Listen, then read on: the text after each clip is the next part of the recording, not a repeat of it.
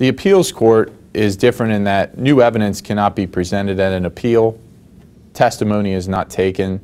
The appeals court reviews the evidence that was submitted at the trial court level and then decides if that evidence constituted a violation of law or if the trial court committed some error when interpreting the law based upon the facts before it.